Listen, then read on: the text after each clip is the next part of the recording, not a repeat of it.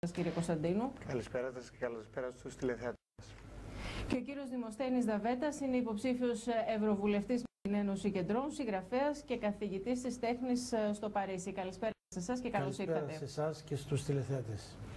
Και θα ήθελα να ξεκινήσω λίγο από ότι η Ένωση Κεντρών θα καταφέρει να πάρει τα πάνω της και αυτό θα αποτυπωθεί στις ευρωεκλογές. Είσαστε υποψήφιος ευρωβουλευτής με την Ένωση Κεντρών. Βλέπουμε παράλληλα τι συμβαίνει και στην Γαλλία. Βλέπουμε την κυρία Λεπέν να προηγείται στις δημοσκοπήσεις του Μακρόν και βέβαια δεν είναι μόνο ένα φαινόμενο που αφορά την Γαλλία αλλά αφορά γενικότερα την Ευρωπαϊκή Ένωση.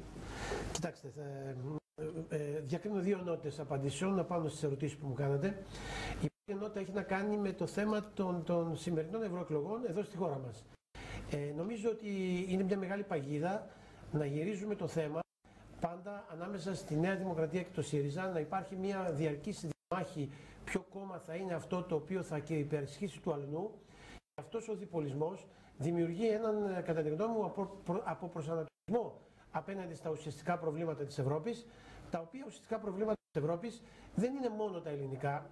Αυτά που συμβαίνουν στην Ελλάδα συμβαίνουν και στην Ευρώπη, αλλά υπάρχουν και άλλου είδους ιδιαίτερα προβλήματα στην Ευρώπη, τα οποία εμείς ακόμη δεν τα έχουμε γνωρίσει στο μέγεθος που υπάρχουν στην Ευρώπη. Και έρχομαι στο δεύτερο μέρος, στη δεύτερη ενότητα των απαντήσεων, όπου αυτή τη στιγμή μπορεί η ανεργία και η φτωχοποίηση στη Γαλλία να μην είναι στο ίδιο ύψος που βρίσκεται στην Ελλάδα, όμως στη Γαλλία υπάρχουν τρία βασικά προβλήματα τα οποία είναι καθοριστικά. Το πρώτο πρόβλημα είναι αυτό της μετανάστευσης. Όσο περνάει ο καιρός, η μετανάστευση δημιουργεί ένα τεράστιο αγκάθι εσωτερικό, κοινωνικό, ταυτοτικό και επίσης πρόβλημα ασφάλειας. Οι Γάλλοι θέλουν να έχουν ελεγχόμενη μετανάστευση. Βλέπουμε ότι σε αυτό μέχρι και ο Μακρόν πήγε πίσω σε αυτό το θέμα. Το δεύτερο θέμα, το οποίο είναι καθοριστικό και πρέπει επίσης να λυθεί σε θέματα ευρωπαϊκά, είναι αυτό της ταυτότητας. Σήμερα μιλάμε για Ευρωπαϊκή Ένωση τι θα πει πια Ευρωπαϊκή Ένωση έτσι όπως είναι; Θα είναι ε, ε, ε, Ευρώπη των Εθνών, θα είναι μια Ευρώπη στην οποία θα λειτουργήσουμε όπως οι Ηνωμένες Πολιτείες. Αυτά είναι ουσιαστικά ζητήματα και αυτά θα πρέπει να αποφασιστούν μέσα από ποιος θα εκλεγεί στην, κάλπη, στην κάλπη. Άρα είναι και αυτό θέμα. Και το τρίτο θέμα είναι το θέμα της ασφάλειας. Δεν μπορούμε να μιλάμε σήμερα για ε, ευημερία και οτιδήποτε άλλο και να μην μπορούν να σταθούν ελεύθερα σε δημόσιους χώρους άνθρωποι διότι Ακόμη η Γαλλία βρίσκεται σε κατάσταση, αν θέλετε, εκτάκτου ανάγκης και ούτω καθεξής. Άρα λοιπόν αυτά είναι πολύ ουσιαστικά πράγματα. Τώρα, στο άλλο θέμα που είπατε για τη Λεπέν, θέλω να προσέξουμε κάτι το πολύ ιδιαίτερο, επειδή ξέρετε πολύ καλά, έχουμε ξαναμιλήσει ότι ζω τον περισσότερο καιρό στη Γαλλία και διδάσκω στο Πανεπιστήμιο, και μάλιστα κάνω και τα μαθήματα της Σορβόνη, τα οποία έχουν σχέση με αυτό. Ε, το θέμα είναι το εξής. Η Λεπέν αργά αλλά σταθερά συνεχώς μεγαλώνει το ποσοστό της. Εάν μείνουμε να πούμε απλά ότι αυτοί είναι ακροδεξιοί, οι λαϊκιστές, αν μείνουμε σε αυτό το επίπεδο, έχουμε χάσει κυριολεκτικά την ουσία του θέματος και σιγά σιγά η Λεπέν θα προχωράει και εμείς θα μένουμε απλά και μόνο ακροδεξιοί. Είναι έτσι.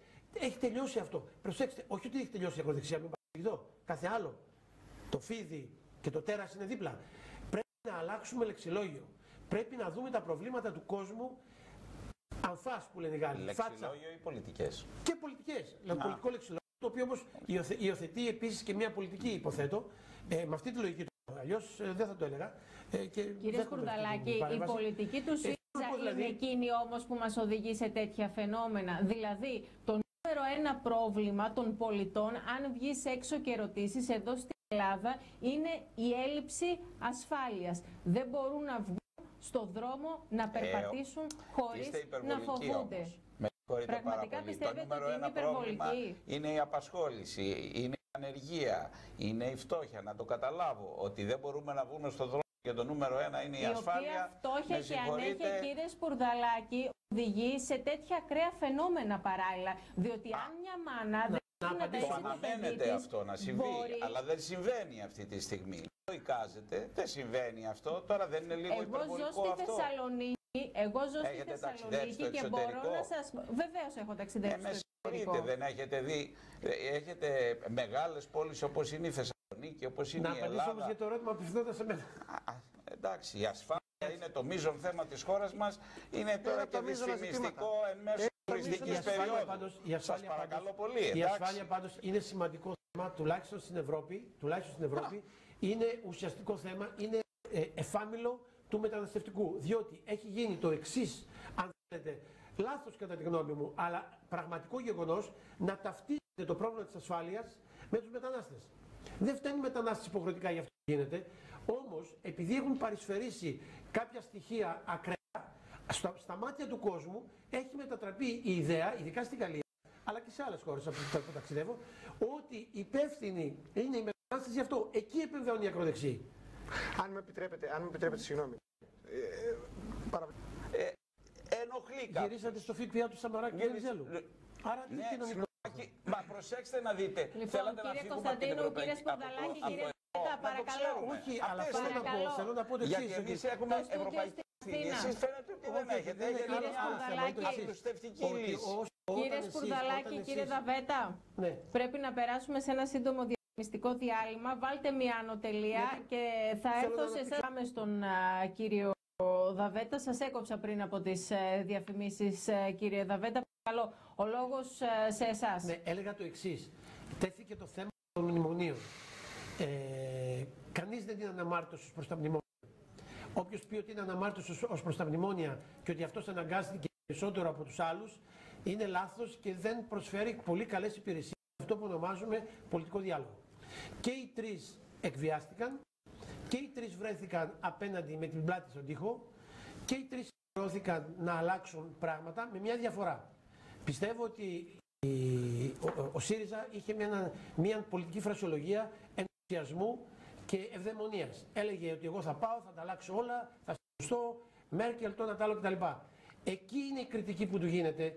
Όχι στο ότι υποχρεώθηκε όπως και οι άλλοι να σκύψει το κεφάλι απέναντι στα μεγαθύρια και στους δράκους που παίρνουν τις αποφάσεις. Είναι γιατί μέσα από αυτό τον ενθουσιασμό της αλλαγής, ο οποίος δεν ξέρω σε ποιο σημείο είναι δόλιος ή όχι, δεν λέω, απλώς το βάζω έτσι, δημιούργησε μία αίσθηση στον κόσμο ότι τα πράγματα μπορούν να αλλάξουν.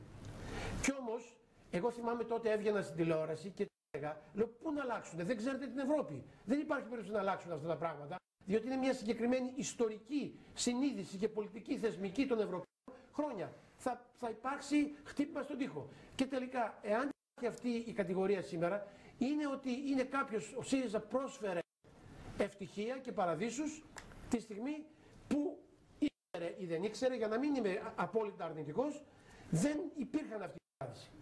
Εκεί είναι η έστασή μου. Αν μου επιτρέπετε όμως να, να πούμε και το εξής, που έχει μεγάλη σημασία μόνο και μόνο και για την ιστορία, αλλά και για να δούμε πώς θα σχεδιάσουμε το μέλλον. Γιατί όπως πολύ σωστά υπόθηκε, το στίχημα είναι οι ευρωεκλογές και το πώς θα μπορέσουμε να οδηγήσουμε την Ευρώπη σε ένα καλύτερο αύριο. Τα μνημόνια εν ήταν η αδυναμία μας σαν Έλληνες να συνεννοηθούμε. Δηλαδή, όταν ήρθε η ώρα να μπούμε σε μια συνεννόηση όλοι μαζί, όλοι οι πολιτικοί χώροι,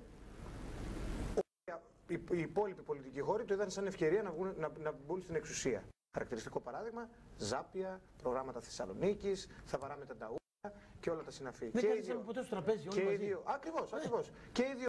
Και ο κύριος και... για να πάρουμε και το πούμε την αλήθεια. Και οι δύο πολιτικοί χώροι, ενώ Νέα Δημοκρατία και ΣΥΡΙΖΑ, αντί να χρησιμοποιήσουν μια εθνική λογική, μια εθνική συνείδηση. Και παρακαλώ. Είναι αυτά που λέτε. Κύριε Κωνσταντίνου, παρακαλώ. Τα στοιχεία, ξέρετε, με στοιχεία τα οποία δεν ισχύουν που λέτε. Όπως και με του συνταξιούχους, τους 50.000 συνταξιούχους. Τα ίδια Κύριε Κωνσταντίνου. Ναι. Καλά. Κύριε Δαβέτα, παρακαλώ. Λοιπόν, ε, αυτό που ήθελα να πω είναι το εξής. Μιλάμε πάλι, γυρίζουμε και πάμε στα στοιχεία ΣΥΡΙΖΑ, το Α, το Β κτλ. Εγώ θέλω να μην μείνω σε αυτά τα στοιχεία. Θέλω να πάω στην Ευρώπη. Το βασικό πρόβλημα της Ευρώπης είναι, εκτός από την ασφάλεια, το είπα πριν, το κυρίαρχο πρόβλημα είναι η μετανάστευση. Αυτή τη στιγμή όλοι ψάχνουν να βρουν τρόπους πώς η μετανάστευση θα γίνει κάτι δημιουργικό και όχι κάτι αρνητικό για την κοινωνία. Έτσι για να φύγει και το κοινωνικό πρόβλημα και η πολιτική αστάθεια και ο φόβος της ασφάλειας. Άρα λοιπόν πάμε όλοι να βρούμε τρόπους αυτή τη στιγμή, τουλάχιστον εμείς στο Πανεπιστήμιο στη Γαλλία, ψάχνουμε μέσα από το, από το Ινστιτούτο Ερευνών να βρούμε τρόπους όπου η, η μετανάστευση θα γίνει ελεγχόμενη αλλά όχι κλειστή κοινωνία η οποία απαγορεύει το διάλογο με τους άλλους. Αυτό το στοιχείο είναι το ένα. Δεύτερον, το άλλο ζήτημα το οποίο μπαίνει αυτή τη στιγμή στην Ευρώπη είναι, μιλάμε για μια Ευρώπη στην οποία θα, ενω, θα, ενω, θα ενοποιηθούμε σαν έθνη; Περισσότερη Ευρώπη ναι. Συμφωνώ. Συμφωνούμε όλοι. Στο ευρώ ναι. Αλλά μήπως εδώ πέρα πρέπει να πάρουμε και το μήνυμα όλων αυτών που διαφωνούν και λένε θέλουμε ακόμη κάποια στοιχεία εθνικά, ιστορικά, πολιτισμικά, ένα είδος πολιτιστικής μνήμης να μην τα χάσουμε λόγω της παγκοσμιοποίησης. Μήπως θα πρέπει να καταλάβουμε ότι η παγκοσμιοποίηση με αυτό ακριβώς το ρυθμό της ολιγαρχίας των πλουσίων οδηγεί σε μια κατάρρευση οικονομική, ηθική, ιστορική και εκπαιδευτική τον κόσμο, το λαό. Αυτά είναι τα ζητήματα της Ευρώπης. Πάντως αυτά πρέπει να δουλέψουμε. Πάντως αυτά είναι έρευνα στο πανεπιστήμιο που, που δουλεύω. Γι' αυτό και, και σαν πολιτικός... Ευρωπε... Ευρωπαϊκών λαών. Γι' αυτό μιλάμε για ναι. κοινωνική Ευρώπη. Άρα λοιπόν, εδώ θα πρέπει να επικεντρωθούμε. Εδώ θα πρέπει να επικεντρωθούμε. Εγώ το λέω και για τη συζήτηση. Έχετε απόλυτο δίκιο. Το, το στίχημα είναι να έχουμε μια κοινωνική Ευρώπη. Αυτό είναι ένα μια Ευρώπη των λαών. Ευχολόγιο χωρίς συγκεκριμένες πολιτικές. Αυτό είναι ένα απόλυτο ευχολόγιο και έκθεση ιδεών χωρίς συγκεκριμένε. Κυρία Κλιάτση, διαλέκτηκαν είναι καταρχήν στο θέμα της φορολογίας στην Ευρώπη. Ε, συνέχεια με νομοθετήματα να μειωθούν όσο γίνεται η λεγόμενη φορολογική παράδειση. Αυτό είναι μια πολιτική η οποία ασκείται από αυτούς που κυβερνούν αυτή τη στιγμή την Ευρώπη. Ακόμη και αν αυτή είναι μια πολιτική η οποία ασκείται και ελέγχεται από τη Γερμανία και η οποία η Γερμανία θεωρώ ότι είναι υπεύθυνη πολλών δεινών αυτής της λιτότητας, παρόλα τα αυτά, η έννοια των φορολογικών παράδεισων είναι κάτι το οποίο πάει, τίνει να μειωθεί, να μειωθεί, να μειωθεί. Το βλέπουμε αυτό σε πάρα πολλές αποφάσεις που ζούμε στην Ευρώπη. Το άλλο θέμα είναι το θέμα της φοροδιαφυγής. Η φοροδιαφυγή είναι σκληρή στην Ευρώπη. Δεν είναι τώρα κάτι το οποίο θα το, θα το μάθουν οι Ευρωπαίοι. Υπάρχει μια ολόκληρη ιστορία, μια συνείδηση της φοροδιαφυγής. Πάνω σε αυτό δομήθηκε από το διαφωτισμό και μετά όλο το λεγόμενο κράτος. Άρα λοιπόν υπάρχει ήδη αυτό. Απλά εμείς, σαν Έλληνες, πρέπει να συνειδητοποιήσουμε ότι πρέπει να ακολουθήσουμε και αυτά τα βήματα. Και μάλιστα χωρίς να έχουμε ανάγκη από μνημόνια κάποια στιγμή. Από μόνοι μας. Το οποίο βέβαια θέλει εκπαίδευση, θέλει μια σειρά από πράγματα. Τρίτον, μιλήσαμε για το περιβάλλον. Το περιβάλλον είναι τελείως καθοριστικό. Αλλά προσοχή, κάνω διάκριση. Άλλο περιβάλλον, άλλο οικολογία. Είναι δύο διαφορετικά πράγματα. Το περιβάλλον βάζει κέντρο τον άνθρωπο και είναι πιο ανεκτικό πιο ανοιχτό, μακριά από πολιτικά κινήματα, μάλλον από κομματικά κινήματα, ενώ η οικολογία έχει μια πολύ συγκεκριμένη κομματική, αν θέλετε, πολιτική πορεία, η οποία πολλές φορές δεν συμφέρει στα ζητήματα του περιβάλλοντος και την ελευθερία που πρέπει να έχει ο άνθρωπος απέναντι στην, στη μάχη για τη φύση για όλα αυτά τα καλά. Τέταρτο θέμα. Μιλήσαμε για τα κίτρινα γυλαίκα. Κίτρινα γυλαίκα, και εδώ εκφράζω και τη θέση ε, του κόμματος αλλά και περισσότερο και την προσωπική μου θέση, την προσωπική μου εμπειρία. Τα κίτρινα γυλαίκα είναι μέσα του 68 της μεσαίας τάξης της Γαλλίας. Δεν είναι απλά 5-10 παλιόπαιδα, άσε που οι περισσότεροι είναι μεσήλικες που υπάρχουν. Υπάρχουν πάνω από 14 νεκροί για όσους θέλουν να μάθουν και, και πάνω από 300 τραυματίες με ακροτηριασμούς και τόσα πράγματα. Αυτή Λοιπόν, υπάρχει μια κοινωνική μάχη μέσα από τα κίτρινα γυλαίκα την γυναίκα παρά τους σκληρούς νόμους, τους αυταρχικούς του Μακρόν, που υπάρχει, υπάρχει ένας φοβερός αυταρχισμός, υπάρχει ένας αυταρχισμός χρηματοπιστωτικός, ο οποίος δεν έχει όρια. Πίσω από το Μακρόν κρύβονται οι τράπεζες και όλη αυτή η τυραννία που υπάρχει. Α, ακόμη και έτσι τα, τα, τα γυλαίκα αυτά δεν θα μπορούσαν να αντέξουν αν δεν είχαν, προσοχή στις δημοσκοπήσεις, συνεχίζουν ένα στους δύο στους Γάλλους. Ναι, μεν δεν βγαίνουν όλοι στους δρόμους, βγαίνει ένας πυρήνα αλλά ένας στους δύο στους Γάλλους συνεχίζει να τους στηρίζει. Αυτό είναι η δύναμή τους. Που σημαίνει ότι τα, τα κίτρινα γυλαίκα είναι μια μορφή έκφρασης της γαλλικής κοινωνίας και έκφρασης πολλών καταστάσεων της Ευρώπης που πιθανόν να έρθουν. Γι' αυτό και υπάρχει μια από τη μεριά της Ιταλίας και άλλων οι οποίοι προσπαθούν να απομονώσουν το θέμα μόνο στη Γαλλία γιατί φοβούνται ότι αυτό μπορεί να επεκταθεί στο Νότο, μπορεί να επεκταθεί σε άλλα μέρη και να έχουμε ξεσηκωμό κοινωνικό εναντίον αυτή τη ολιγαρχία, η οποία ληστεύει τον κόσμο όλα αυτά τα χρόνια και η ολιγαρχία τι κάνει, δημιουργεί τον κόσμο, οθεί τον κόσμο. Πρέπει να αλλάξει αυτέ οι πολιτικέ Προφανώ πρέπει να αλλάξουν. Απόλυτα συμβαίνουν. Και εδώ Απόλυτα. Κύριε Κωνσταντίνου, κύριε Σκουρδαλάκη και κύριε Δαμπέτα. Το κόμμα των Ευρωπαίων όσο τον ε, πρόκειτο να περπατήσει και υπάρχουν αντιθέσεις. Γι' αυτό βλέπεις και προχτές μιλάγαμε με έναν υποψήφιο της Νέας Δημοκρατίας και σκέφτεται να, και τον Τίμερμανς να συζητήσουμε και τα Και ε, ε, ε, μην ξεχνάτε ότι ο Μπαρόζο ήταν πρόεδρος της Ευρωπαϊκής Ένωσης και τελευταία φορά και με τη συμφωνία του κόμματος Ευρωπαϊκής Αριστεράς ε, καταλήξαμε στο Γιουγγέρ, ο οποίος ήταν, εν πάση περιπτώσει, πιο ήπιος ή σε κάθε περίπτωση